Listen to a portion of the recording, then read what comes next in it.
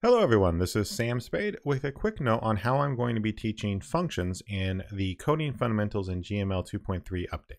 The main problem is that functions and methods are the biggest change to GML. Structs are the biggest addition, but functions and methods have entirely changed how things used to work when all you had was scripts. This means a couple things. Number one, it means that prior information about scripts is mostly wrong and when not wrong, at the very least incomplete.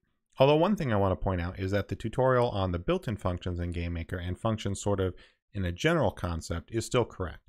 So there's nothing wrong with that tutorial and that tutorial will stick around. And it also means that the new information has significantly more moving parts. You now have script functions and methods. You can declare methods in a bunch of different places. You can do so in different ways. You have to talk about binding and what that means. So that leads me to the question of what's the best way to teach functions and methods now in 2.3. And my solution to this is to reteach functions from square one. So what this means is that there's no need to watch any of the prior tutorials on scripts in fact, if you are starting in 2.3, I would encourage you not to watch those tutorials as they will only mislead you. And it means that for the most part, I'm not even going to reference the way things used to be.